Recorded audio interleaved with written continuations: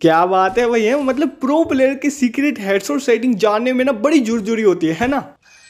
कोई बात नहीं मेरे भाइयों सारी झुरझुरी मिटाएँगे। इस वीडियो के अंदर मैं आपको कुछ ऐसे प्रो प्लेयर्स के सेटिंग के बारे में बताने वाला हूँ जिससे वैसे आपके वन टेप शॉट बहुत ही नेक्स्ट लेवल के लगने वाले और मेरे दोस्तों आप ना सामने वाले बंदों का वन टेप शॉट लगा लगा के लगा लगा के उनका बैंगन का भत्था बना दोगे और उनका कुछ ही हाल हो जाएगा।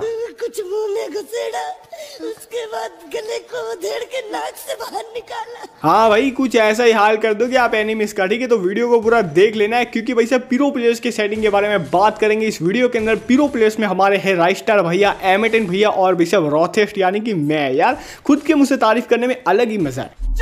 मतलब यार सीधा मुँह पे बेच देते खैर कोई बात नहीं दोस्तों इस वीडियो को आपको पूरा देख लेना है बिना स्किप किए क्योंकि अगर आपने हल्का सा भी स्किप किया तो आपके वन टेप सही से नहीं लग पाएगी और आपके फ्रेंड्स के सामने आपकी इज़्ज़त हो जाएगी। खत्म!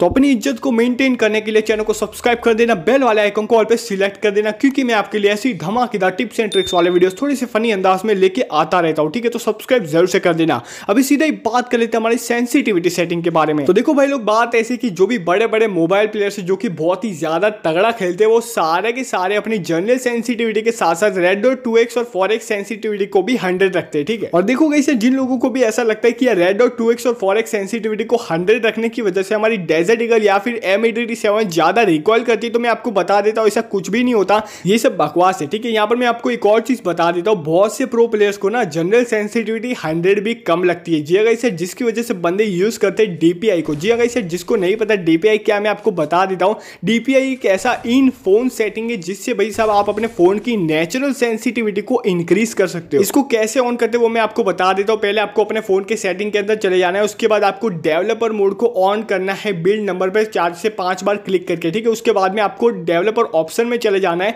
उसके नीचे आपको स्क्रॉल करना है स्क्रॉल करना है, तब तक करना है, जब तक कि आपको स्मॉल विर्थ या फिर मिनिमम विर्थ करके एक ऑप्शन ना दिखाई दे, ठीक है? वहाँ पर आपको मिनिमम विर्थ या फिर स्मॉलेस्ट विर्थ जो भी रहता है, उसको आपको इंक्रीज करके बढ़ा देना है 460 जी हाँ इसे 460 आपको कर देना है। ये बेस्ट डीपीआई सेटिंग रहता है वन टेप लगाने के लिए। अभी मैं आपको एक और चीज़ बता देता हूँ। डीपीआई को आप यूज़ कर सकते हो। बड़े बड़े प्रो प्लेयर्स ऑलरेडी इसको यूज़ कर रहे हैं, लेकिन कहीं ना कहीं थोड़ा सा रिस्क है कि इसकी वजह से आपका फ़ोन खराब हो सकता है। जी अगर इसे इसकी वजह से आपका फ़ोन खराब हो सकता है। बहुत से बंदों के फ़ोन खराब नहीं हुए, लेकिन कहीं ना कहीं थोड़ा बहुत रिस्क रहता है। तो आपके ऊपर है कि आपको डीपीआई को यूज़ करना है कि नहीं करना है। वैसे मैं आपको पर्सनली बता देता हूँ, मैं डीपीआई को यूज़ नहीं करता। मैं जनरल सेंसिटिविटी को हंड्रेड रख के ही बहुत ही अच्छे खासे वन टेप लगा लेता हूँ, ठीक है? तो अभी कहीं से सीधे आ जाता है हमारे इन गेम सेटिंग के अंदर। सबसे पहले मैं आपको बता देता हूँ कंट्रोल्स में एम प्रिसेशन के बारे में। तो देखो यार, आपको ज़्यादा सांड पट्टी नहीं करनी है फुल कंट्रोल या फिर प्रिसेशन को बिल्कुल भी नहीं करना, आपको डिफ़ॉल्ट पे ही रहने देना है, ठीक है? उसके बाद गई सर बारी आ जाती है हमारे लेफ़्ट फायर बटन की। तो देखो, मैं आपको बता देता हूँ लेफ़्ट फायर बटन को आपको ऑलवेज पे ही रखना है। जी अगर सर आपको स्कोप ऑनली पे बिल्कुल भी नहीं रखना है। ऑलवेज पे रखने से आपके कस्टम एच के अंदर एक और फायर बटन एड हो जाएगा और हमारे मेन फायर बटन का एक लौटा भाई भी आ जाएगा, जिसकी वजह से हम दो दो फायर बटन को मिला के एकदम धमाल मचा सकते हैं। यानी कि 360 डिग्री ग्लोअल एकदम बिजली की रफ्तार से डाल सकते हैं। बेसिकली आपको लेफ़्ट फायर बटन को ऑलवेज पे ही सिलेक्ट करके रखना है। उसके बाद गई सर बारी आ जाते हैं हमारे क्विक वेपन स्विच बटन की तो देखो मैं आपको बता देता हूँ, अगर आप थ्री फिंगर या फिर फोर फिंगर प्लेयर हो, तभी आप क्विक वेपन स्विच बटन को ऑन रख के खेल सकते हो।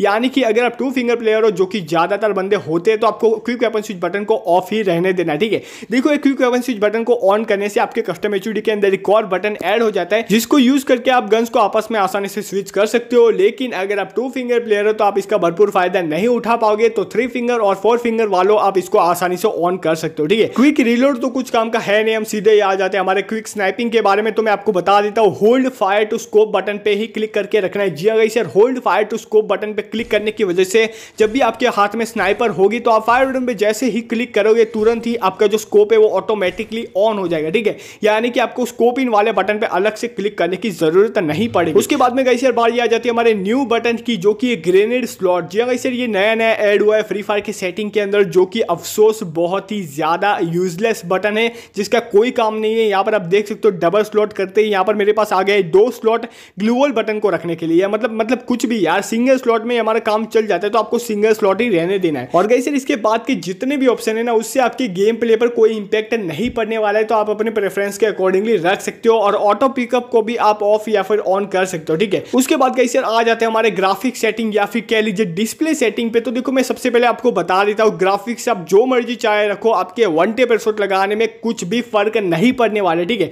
और ग्राफिक्स में आपको अपने डिवाइस के अकॉर्डिंगली बता देता हूँ, अगर आपके पास वन जीबी रैम वाला डिवाइस है तो आपको ग्राफिक्स स्मूथ कर देना है और जो हाई एफपीएस वाला जो ऑप्शन दिखाई दे रहा है, उसको नॉर्मल पे क्लिक कर देना है, ठीक है? उसके बाद गाइस अगर आपके पास टू या फिर थ्री जीबी रैम वाला डिवाइस है तो आपको ग्राफिक्स को स्टैंडर्ड कर देना है और जो हाई एफपीएस वाला है ना, उसको हाई पे सिलेक्ट कर देना ठीक है? देखो गाइस यार एफ़ का फुल फॉर्म है फ्रेम पर सेकंड इसको हाई करने की वजह से जो आपका गेम है ना, भाई साहब बटरी स्मूथ चलेगा, ठीक है? तो इसको हाई कर देना है। और अगर गाइस सर आपके पास चार जीबी रैम वाला डिवाइस है तो आपको ग्राफिक्स को अल्ट्रा पे सिलेक्ट कर देना है उसके बाद अगेन आपको हाई एफ़ को हाई पे सिलेक्ट कर देना है ठीक है? तो बेसिकली गाइस डिस्प्ले सेटिंग की वजह से आपका गेम है ना बहुत ही ज़्यादा स्मूथ चलेगा और जो आगे मैंने आपको सेटिंग बताई जिससे आपके वन टे बहुत ही ज़्यादा आसानी से लगेगा ठीक है? तो बस गाइस यही था हमारा वीडियो फिर वीडियो को लाइक कर दो। अगर वीडियो डिसलाइक कर दो। लेकिन रॉथेस्ट को सब्सक्राइब करना बिल्कुल मत भूलना। हम मिलेंगे नेक्स्ट वीडियो में। तब तक के लिए बी रॉ